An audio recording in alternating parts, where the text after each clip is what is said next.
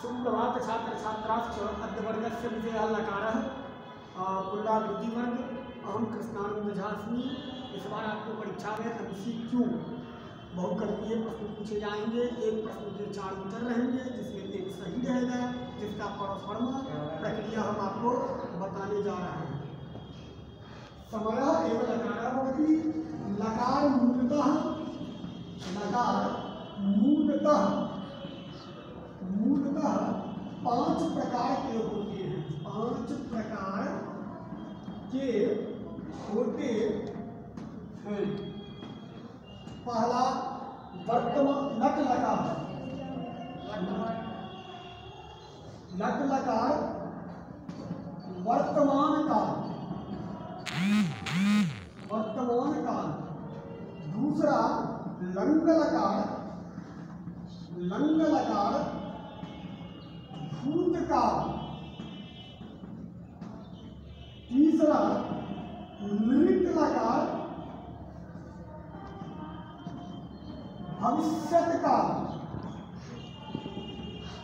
भविष्यत काल चौथा लोट लकार लोट लकार आज्ञा या अनुज्ञा। पांचवा विधिलिंग। विधिलिंग चाहिए। चाहिए। अब आप अपने देखिएगा लंकलाकार वर्तमान काल। वर्तमान काल जो समय अभी चल रहा है, वर्तमान काल कहलाता है। लंगलकार भूतकाल, जो समय बीत गया, वह भूतकाल कहलाता मतलब जिस क्रिया के अंत में धाते थी, लगा रहेगा, लंग लकार भूतकाल कहलाएगा। लिट लकार भविष्यत काल, जिस क्रिया के अंत में गागे की लगा रहेगा, लिट लकार भविष्यत काल कहलाएगा। लोट लकार आज्ञा या अनुज्ञा को कहते हैं विधि चाहिए के अर्थ में प्रयोग किया जाता है। अब अपने बोर्ड पर देखिए, लट लकार में एक बात और ध्यान दीजिएगा। लकार में सभी धातु का सभी धातु का, सभी लकार में प्रथम पुरुष, मध्यम पुरुष, उत्तम पुरुष एक वचन द्विवचन, बहुवचन में अलग अलग रूप चलता है। जो हम आपको बोर्ड पर बता देते हैं लट लकार लकार गम धातु का लकार है। गम धातु का यहाँ पर है प्रथम पुरुष प्रथम पुरुष यहाँ पर हो जाएगा गच्छति, गच्छत गच्छन्ति गच्छन्ति यहाँ हो जाएगा मध्यम पुरुष गच्छति गच्छथ, गच्छत। यहाँ हो जाएगा उत्तम पुरुष उत्तम पुरुष, गच्छामि गच्छावह गच्छावह गच्छावह अब देखिएगा अगर मान लीजिए आपको परीक्षा में पूछा गया कि गच्छति, यहाँ पर दे देगा ऑप्शन में लट लंग लिट लोट विधि। तो कौन कौन कार का है?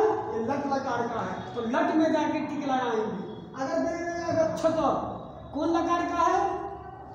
तो लट लंग लिट लोट विधि। ये पाँच आपको दे देगा ऑप्शन में। और जो ऑप्शन सही रहेगा, उसमें आप टिक लगा दीजिएगा। उसके बाद आपको लिट लगा भविष्य काल में ऐसे ही रूप चलता है।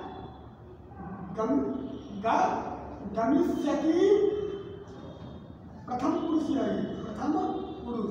गमिष्यति गमिष्यत गमिष्यन्ति। गमिष्यन्ति। गमिष्यन्ति। गमिष्यसि गमिष्यसि, गमिष्यथ गमिष्यथ गमिष्यथ गमिष्यथ गमिष्यामि गमिष्यामि गमिष्यामः गमिष्यामः गमिष्यामा अगर मान लीजिए गमिष्यामा आपको दे दिया और आपको वचन बताने के बोल दिया। एक वचन है कि द्विवचन है कि बहुवचन है। तो आपको याद रहेगा पढ़े रहेंगे तब आप बता पाएँगे। तो आप इसमें लिख दीजिए, लिख देंगे, बहुवचन है। अगर आपको पुरुष के बारे में ही पूछ देगा मिश्यामी में कि प्रथम पुरुष में आता है कि मध्यम पुरुष में आता है कि उत्तम पुरुष में आता है तो आप क्या करेंगे? ये उत्तम पुरुष में आता है, उत्तम पुरुष में जाके ऑप्शन में आप उसको टिक लगाएँगे। अब देखिए, जैसे कि आप सब रूप में हम बता देना चाहते हैं। प्रथमा से लेकर सप्तमी तक सप्तरूप होता है सप्तमी तक इसके अंतर्गत क्या है? संबोधन होता है, संबोधन तक होता है।